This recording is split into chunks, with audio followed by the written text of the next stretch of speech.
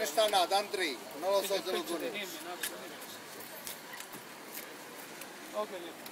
Uh, buongiorno, sono qui a Naples Evening Prize, ho alcuni amici miei, c'è Guglielmo Tell, c'è Domenico, c'è Bruno che ruba l'alloro, c'è Mario il pescatore, è arrivato un pancione qua a Lucio e c'è Gustavo qua, che rompe sempre le palle la mattina e la sera.